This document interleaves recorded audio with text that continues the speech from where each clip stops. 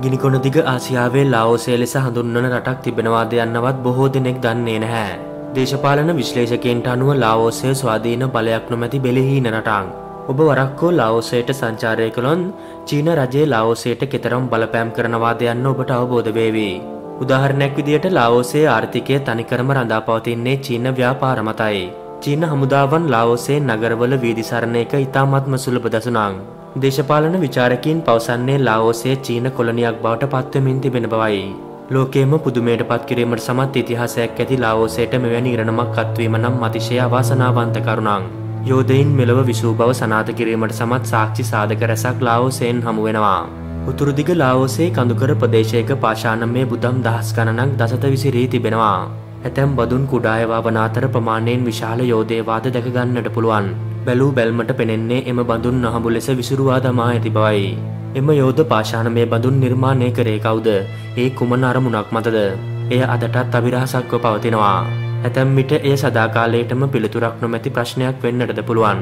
Vietnam යුද සමේ බෝම්බ සහ පිම්බෝම්බවලින් එම ප්‍රදේශයේ වැඩි කොටසක් විනාශයට පත්ව තිබෙනවා. මොකද එකල ලාවෝසය වියට්නාම්මරුන්ගේ හමුදා කඳවුරු භූමියක්ව පැවතියා. පුපුරණ ද්‍රව්‍ය ටොන් මිලියන දෙකක් පමණ ලාවෝසය තුළ පුරා ගොස් තිබෙනවා කිව්වන් ඔබ පුදුමයට පත්වේවේ. ඉන් යෝධ පාශාන බුදම් බොහෝ ප්‍රමාණයක් විනාශ වනන් අතටත් දහස් ගණනක් ඉතුරුව පවතිනවා. එම යෝධ පාශාන බුදම් පළමුුවරට පරීක්ෂා කරේ එදස් නමසය තිය දශකයේදී. එකල ලාවෝසය ප්‍රංශ අධිරාජ්‍යයේ යටත් විජිතයක්ව පැවතියා. ප්‍රංශ ගවේශකයෙන් පසුව හෙළිකරගෙන තිබුණේ යෝධ බුදම්වලින් සමන්විත එම භූමිය අසාමාන්‍ය සොහොන් බිමක් බවයි. ඒ අසල වූ ගුවහාවල මෘතදේහයන් ආදාහනය කොට එම අලු පාශාන බඳුන්වල තැන්පත් කොට තිබෙන බව හෙළිවුණා. නමුත් එම යෝධ පාශානමය බදුන් සම්බන්ධයෙන් ලාවෝසය තුළ ජනප්‍රවාදයන් රැසක්ම තිබෙනවා.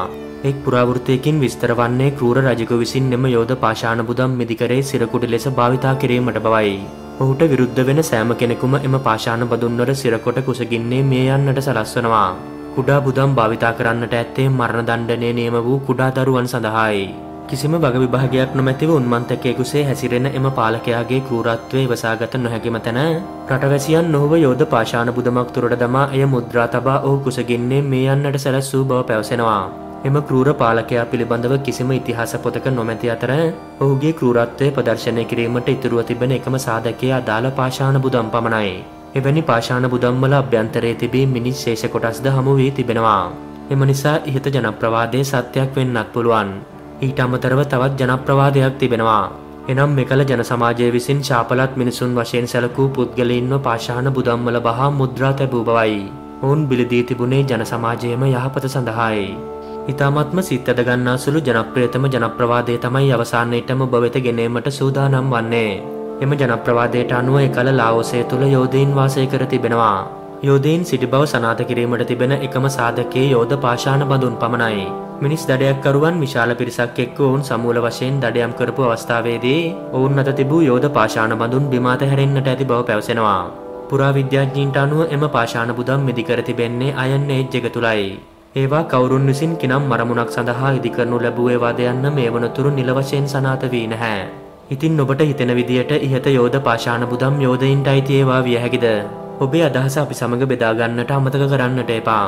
ඔබ තාමත් අපිව සබස්ක්‍රයිබ් කර නොමැතිනම් මේ දැන්ම සබස්ක්‍රයිබ් කරන්න ඒවගේම කුඩා සීනුවබෝ තළුත් වීඩියෝ දාපු ගමන් ඔබට දැනගන්නටත් පුළුවන් ඔබ නොදන් මෙවැනි වටිනාදේ දිනපතා දැනගන්න නොදුටු ලෝකයේ සමගරැන්දී සිටින්න